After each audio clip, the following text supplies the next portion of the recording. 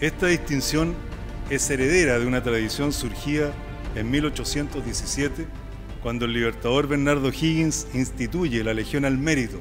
Son también miles de hombres y mujeres de nuestras instituciones que salen a ayudar y salen solidariamente a trabajar por las chilenas y chilenos en los momentos difíciles. Esos trabajos que desempeñan los hombres y mujeres de nuestras instituciones es lo que nos interesa que sea reconocido y conocido por nuestra comunidad.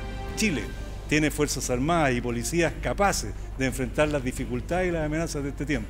Y policías y fuerzas militares capacitadas con hombres y mujeres disponibles a rendir la vida si es necesario en las circunstancias difíciles o trabajar por todos los chilenos. Muchas gracias, presidente.